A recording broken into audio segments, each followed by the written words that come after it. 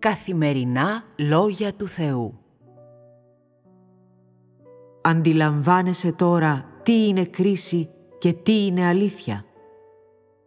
Εάν έχεις καταλάβει, τότε σε προτρέπω να υποταχθείς υπάκουα στην κρίση. Αλλιώς δεν θα έχεις ποτέ την ευκαιρία να λάβεις την επιδοκιμασία του Θεού ή να σε οδηγήσει στη βασιλεία Του.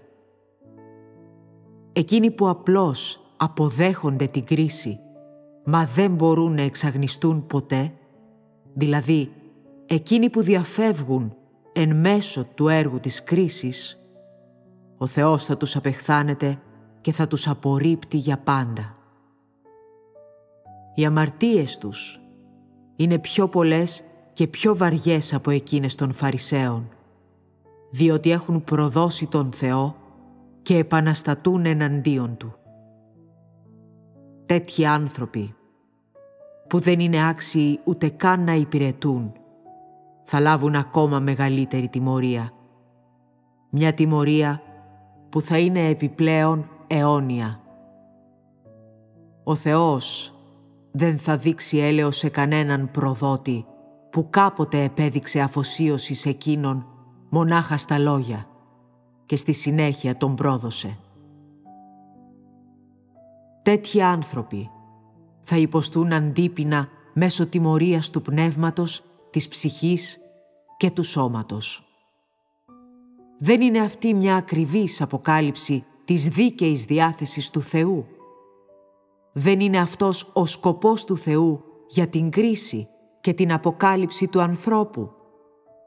Ο Θεός ξαποστέλνει όλους εκείνους που κάνουν κάθε είδους κακές πράξεις κατά τη διάρκεια της κρίσης, σε ένα μέρος μολυσμένο από μοχθηρά πνεύματα, επιτρέποντας σε αυτά τα κακά πνεύματα να καταστρέψουν τη σάρκα αυτών των ανθρώπων κατά βούληση.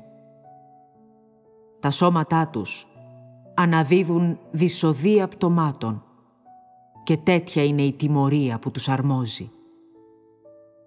Ο Θεός καταγράφει στο αρχείο τους όλες τις αμαρτίες αυτών των άπιστων ψευδών ακολούθων, των ψευδών αποστόλων και των ψευδών εργατών.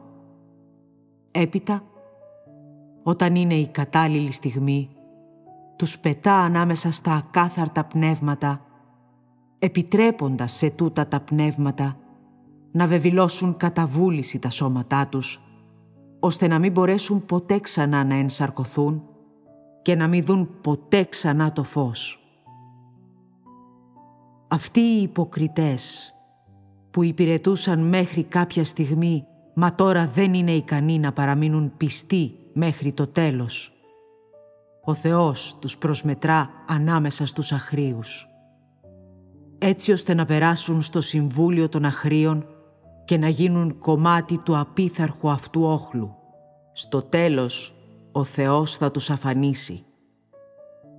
Ο Θεός απορρίπτει και δεν λαμβάνει υπόψη αυτούς που ποτέ δεν υπήρξαν πιστοί στον Χριστό ή που δεν αφιέρωσαν καμία προσπάθεια και θα τους εξολοθρεύσει όλους με την αλλαγή των εποχών.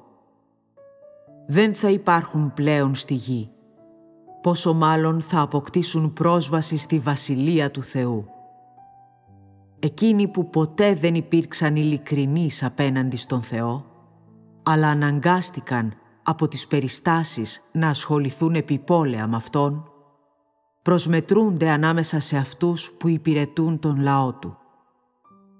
Μονάχα ένας μικρός αριθμός αυτών των ανθρώπων μπορεί να επιβιώσει, ενώ η πλειοψηφία θα χαθεί μαζί με εκείνους που δεν είναι ικανοί ούτε καν να υπηρετήσουν. Τελικά, ο Θεός θα φέρει στη βασιλεία Του όλους εκείνους που σκέφτονται όπως ο ίδιος, τον λαό και τους Ιούς του Θεού, όπως επίσης και εκείνους που προορίζονται από τον Θεό να γίνουν ιερείς. Αυτό είναι το απόσταγμα που λαμβάνει ο Θεός από το έργο Του.